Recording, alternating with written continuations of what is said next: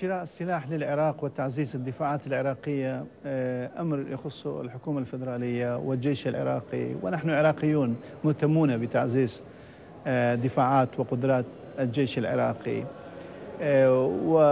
ونتمنى أن لا يستخدم هذا السلاح في في أي حروب مستقبلية مع الجيران أو حتى في أي خلافات وصدمات داخلية.